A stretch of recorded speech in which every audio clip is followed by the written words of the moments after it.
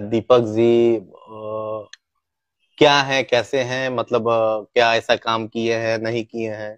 या घर खरीद लिए हैं या क्या कर लिए हैं? या किस फैमिली से बिलोंग करते हैं? बेहतर होगा कि आप लोग एक बार ज़रूर आप लोग से रिक्वेस्ट है कि उनसे भी पूछ लिया जाए। किसी के बारे में बोलने के पहले उनको समझना चाहिए कि उनको पता करना चाहिए कि क्या है क्या नहीं है दीपक सिंह क्या है क्या नहीं। है मुझे नहीं लगता है कि उनको पूरी जानकारी है वो अपना फ्रस्ट्रेशन निकाल रहे हैं। ये लैंग्वेज बहुत रफ बहुत देखिए क्या है। हम हमको बहुत सारा लिंक आया। तो लिंक देखने के लिए कि आपके बारे में ऐसे ऐसे बोली।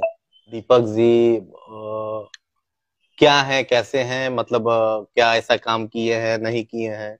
या घर खरीद लिए हैं या क्या कर लिए हैं? या किस फैमिली से बिलोंग करते हैं? बेहतर होगा कि आप लोग एक बार ज़रूर आप लोग से रिक्वेस्ट है कि उनसे भी पूछ लिया जाए।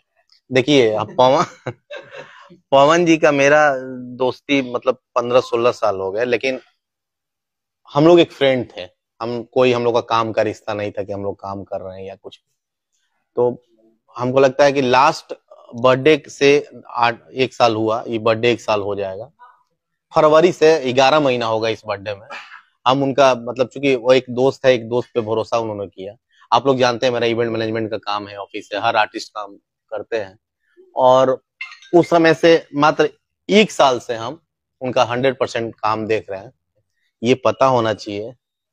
हमको बोलना नहीं चाहिए ये सब चीज़ कि 90 से मैं नब्बे से मैं पटना में हूँ और उसी समय से मेरा हर चीज़ है। जिस दिन मैं जन्म लिया था, उसी दिन मेरे पापा के बारे में, मेरे फैमिली के बारे में पता करने कि मैं कैसे फैमिली से बिलोंग करता हूँ।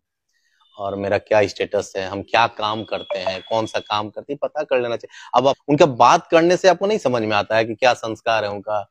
रोडपति से करोड़पति अरे यार रोडपति करोड़पति अब क्या हम बोले उनको? अच्छा भोजपुरी इंडस्ट्री में जैसे कि भोजपुरी समाज अनुपमा को ट्रोल इसलिए किया जा रहा है। देखिए हम बता देते हैं। अनुपमा एक अच्छी सिंगर है अच्छे फॉलोअर है।